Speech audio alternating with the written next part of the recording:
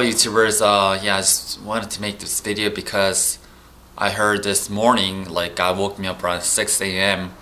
and told me to pray. So I was like, is this my voice or it cannot be the devil's voice, the devil wouldn't want me to pray for sure. So I, I, I obeyed and I just went to my prayer room and as I sat down, I heard God say, pray for America. I was like, pray for America? And I didn't know really what to pray, so I prayed in, in the spirit and tongues and, you know, for America. And then I concentrated on, have, Lord, have mercy upon this nation and whatnot. and I kind of remembered uh, several days ago, I prophesied. I don't really prophesy at all, but uh, all of a sudden words came from the Lord, I believe. I believe the Lord's word came out, and it just like I just had to speak whatever God was putting in my heart to speak, and it was uh, like calamities are coming to America. Um, people will suffer, and uh, I hope they don't die. But you know, if it comes to comes, like I don't know what's what's gonna happen, and, and I believe we need to repent, and we need to ask God for mercy upon wherever we live, wherever we're at, because I believe. Uh, God's judgment is coming upon America. And as you already see, already there are already natural disasters. You know, the huge mess, mess with this government shutdown and all this stuff.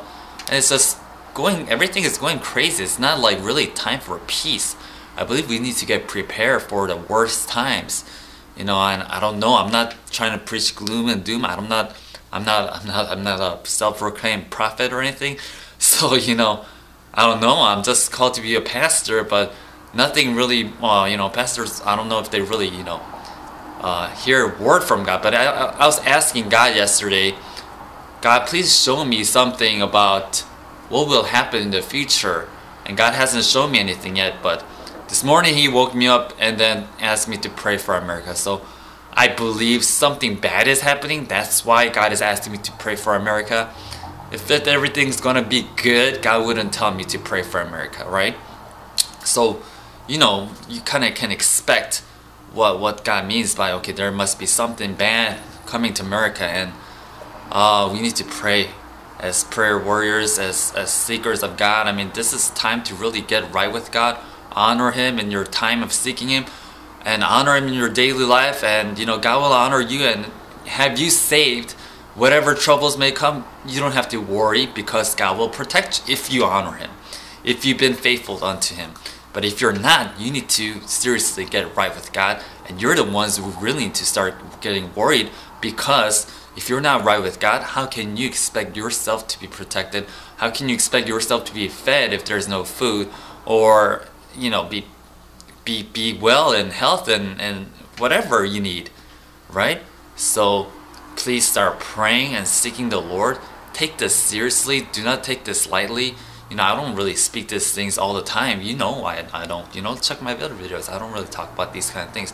But I think, I think, you know, the Lord is really uh, pushing us to time to repent. If we don't repent, I believe bad things will really happen to America. And I don't know if Americans, all of them will repent.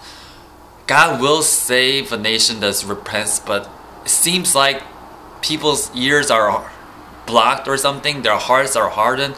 They don't want to, you know, receive these things for some reason. I don't know. I don't. I have no.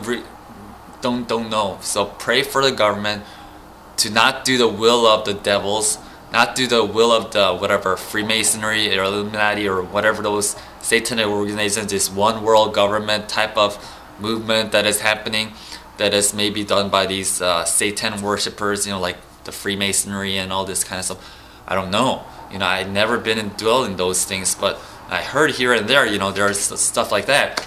So, pray for America. Pray against those evil um, governments or secret organizations that are trying to control and unite the whole world, like how how they back in the day tried to make one world government by building a Babel Tower together.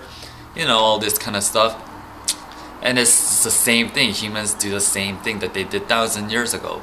Know, they want to be united in certain way, and God divided it because God said, "Go spread out and multiply," and they didn't. They rather like try to come against God, or I don't know what they're trying to do. I don't. I think they're really silly and dumb, because uh, I don't know what they are wanting. You know, if they got a lot of money, just live. You know, however you want to live. You know, and just just say bye bye. You know, why they do gotta do this kind of wicked things and plan evil things? Because because I believe you know Satan's ultimately leading them, and you know Satan is their uh, source of wealth and all this kind of stuff. So I don't know. Uh, they're just silly because they're gonna be burning in hell forever. I don't want to be there. You know, I don't know why they want to be there because they know that God is real and Satan is real, and you know if they follow devil, they will go to hell with him, and it's just unavoidable. How can bad win against good? It can't. It doesn't. Ultimately, when it comes down to it, man, God will judge, and all the bad things, all the bad people will will be burning in hell. Okay, and if you think you're good, you know, don't deceive yourselves. You know, because because inwardly, you know, we are like our heart might be very dirty and wicked itself. You need to cleanse yourself by the blood of Jesus Christ by repenting and asking God to cleanse your heart, cleanse your mouth, cleanse your whatever head with all these worldly things and all these lusts of this world. So yeah, let's just pray together. Dear Heavenly Father, in the name of Jesus Christ, we come together in unity, Father, for America, Father. I know the bad things are going to happen, Father, but please protect us who are praying. Please uh, let us not be led astray, but help us to come to God in full heart and seriously let us be able to dedicate ourselves unto you, honoring you in daily life and then serving you, Father. Father, serving you day and night, Father, help us to really come to you in spirit and in truth, worshiping you, Father, and doing what you want us to do, Father. Help us uh, and have mercy on United States, Father, and America, Father. Help help this nations, Father, to uh, to really stand up for God. And if and if if if, um, if anything, Father, uh, let your will be done, Father, according to how you like. But please let not the people be killed and dying. Father, reduce those numbers, Father, if you can. And please rather let them repent unto God instead of hardening their hearts, Lord, like the Pharaohs of Egypt. Father, harden the hearts, hard against Moses. Father, please do not let them harden their heart, but let them come to repentance. God, in Jesus' mighty name, I pray that please uh, protect us and um, help us to be led by your Spirit, speaking according to your Spirit. In Jesus' mighty name, I ask that your Holy Spirit to, to fill us and to to charge us with you. Help us to come come, come and continue to pray and uh, continue to uh, read your word and, and stand fast in the word. Father, help us not to be led away by the devils and demons and the things of this world because they're so deceiving and they're so full of lust, Father. Please, O oh Lord, keep us from lusting and keep us from all these useless things, but rather help us to be focused on you and in your kingdom. In Jesus' mighty name I pray, Father, please, oh Lord, please save us all. Save us, save us to, to your kingdom. And whatever may befall, we know that we have confidence and trust in you that you will take us out of it and that we have full trust in you, Lord. Thank you, God. Thank you for this trust that you've given us. Thank you for this faith that you've given us. Please, oh Lord, um, bless us with whatever we need and please protect us and all, all our family members as well. In Jesus' my name, I pray. Glory God, glory God. We just give you thanks and praise unto you that you're warning us before time. Thank you, God. Thank you, Jesus. All right, God bless you. Take care.